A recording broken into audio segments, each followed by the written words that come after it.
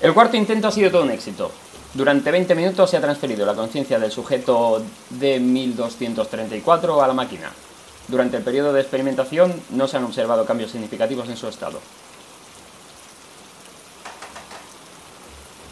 Lamentablemente el sujeto ha fallecido a causa de una encefalitis aguda, probablemente debida a la radiación.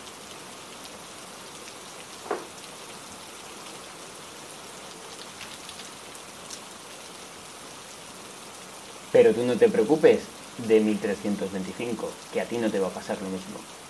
Y si esto sale bien, viviremos eternamente. ¡No! Vaya ahora en el irradiador, no. Las consecuencias serían desastrosas. Por fin daremos sentido a la frase que dice, lo que hacemos en la vida tiene su eco en la eternidad. Si mi cuerpo está ahí, ¿qué hago yo aquí?